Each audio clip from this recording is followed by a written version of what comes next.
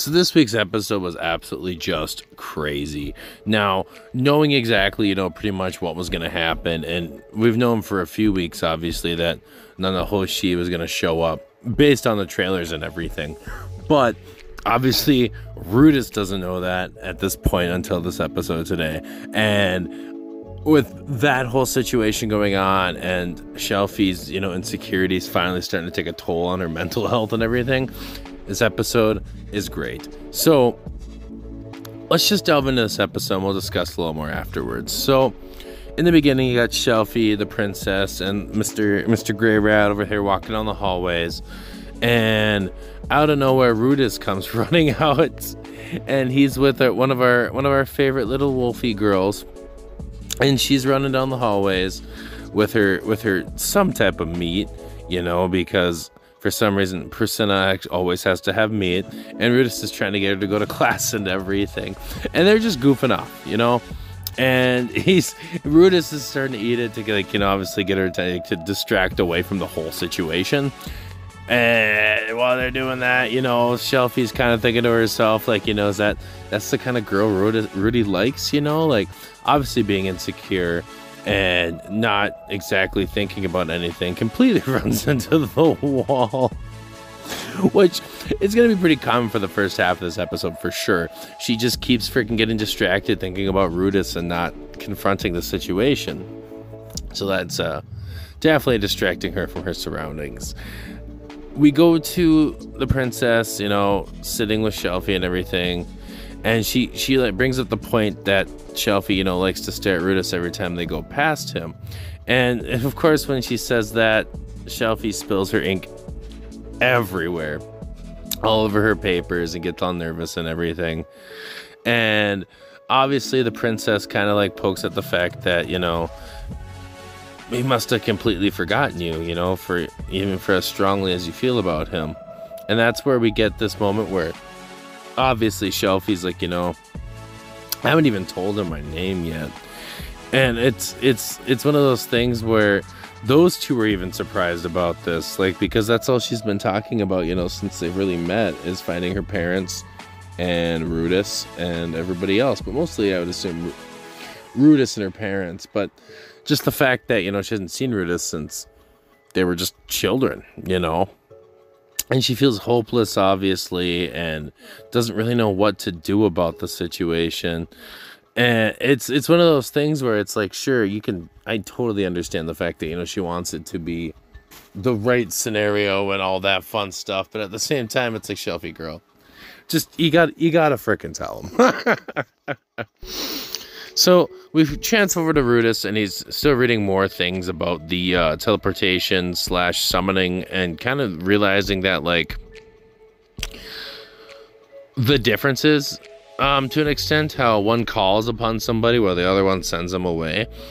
And obviously, there's not much written about it because they haven't really delved into that exactly in this world and time. So Rudeus is looking and he sees Sylphie and they're talking a little bit. And Sylphie remembers that there is somebody that is a specialist at summoning, not necessarily teleportation, and that's the uh, the the student Silent Seven Star, which obviously we we know that that's that's our uh, that's our girl Nanahoshi, and so Rudeus is uh, getting to go and check her out. And while he does that, he gets to the room and instantly realizes who she is, right? From the mask and everything. And she tells him, you know, like, it's been a while, hasn't it? And of course, he runs out of there panicking, right? PTSD, hardcore gripping his chest because, well, the last time he seen her, he got a if he got a little hole in him. You know, granted it wasn't her fault per se; it was more Orsted than anything. However, that's what happened last time, and this is this is the repercussions of his PTSD. And so she comes and confronts him in the hallways, and you know, and telling him that you know it's not it's not really polite to run away from somebody, especially when you're the one that came and knocked on her door. So he passes out, right? Just clearly just blacks out, passes out. wakes up on Sylphie's lap, getting his head pat or head rubs on the thighs, you know, and kind of like pretty much just discussing, you know, how gentle the hands were and how familiar it felt. And it's like, dude, come on, man. Like, I get it, but come on, wake up. and so obviously he wakes up and Sylphie's there, and we get the Nihongo. Uh, can't even talk subtitles on the bottom on top of the regular English. So obviously they're trying to point out that he's speaking the tongue of that country because we're about to go into Japanese, and obviously Sylphie doesn't understand Japanese. But he's talking about, you know, a woman in a white mask almost killed him just to look up immediately and see that Nanahoshi is right there staring at them both she tells him that you know you know I saved you didn't I last time? And like he comes and he, he gosh I can't freaking like describe this. It's but like she tells him you know like obviously I saved you last time but you probably wouldn't remember because I guess you were technically dead already and passed out and I told Orsted to save your life again. And so they start talking and getting to the point about how her and Orsted kind of like traveled the world and the fact that um, Orsted might come back to kill him one day, depending on you know how he uh, lives his life, I guess. And so, like, Sylphie's curious, and she wants to know how she knows Rudeus, and obviously she's thinking about you know how they met with the dragon god last time and everything. And so she wants to ask him three questions because she wants to know more about Rudeus. She wants to know if he knows these names right here Shinohara Akito or Kuroki Satoshi. Second of all, she wants to know if he knows the language, which is kind of a given considering the fact that he knows what the paper name says. And the third one is she wants to know if he's one of these two people. Obviously, he's neither of those two people and they're obviously from the same place. But we get the realization. I mean, kind of already. I mean, if you're a reader, you knew this, and it's really hard to say, you know. But it's the gal that he saved in his past life. We'll, it's definitely going to go way more into that later on, but at this point, that's what you get, you know. And their last memory was, you know, talking to those guys before Rudeus tried to save her from the truck. And Truck Kun took her out just as much as it took him out. Truck Kun's very good at taking people out. It's his it's his profession. but she kind of she wants to know more about him. Like obviously was he from America? Was he from Europe? And you know, even though he knows Japanese, and she kind of realizes that oh he's probably just obviously from Japan. And but at the same time, she gets a little more reassurance knowing that she's not the only person that is in there from their world. And she wants to work her way out and get back to a regular world. But obviously, Rudeus closed those doors. Like, he's done. He doesn't want to go back. He has nothing to go back to. You know, he's started a better life. He completely regrets everything about his past life. So obviously, he doesn't want to go back. And obviously Sylphie wants them to speak a language she can understand so she can get into this conversation. However, that doesn't quite happen yet. So Rudeus explains that he got reincarnated instead of teleported because obviously he was born there after he died and just show up like Nana Nanahoshi did when she just appeared in the Asura kingdom.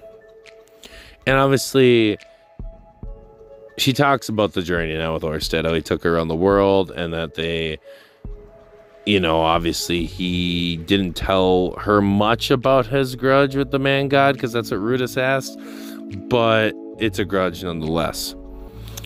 And so,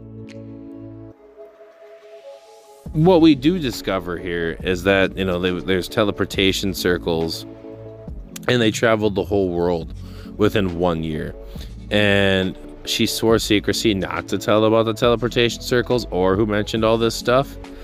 But she knows that she's been summoned here by somebody, and that she needs to figure that out.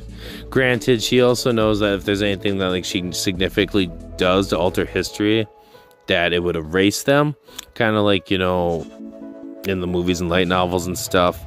But she also mentions that she doesn't want to change anything because she doesn't want it to be like a light novel or a manga. She just wants to get home. And you know,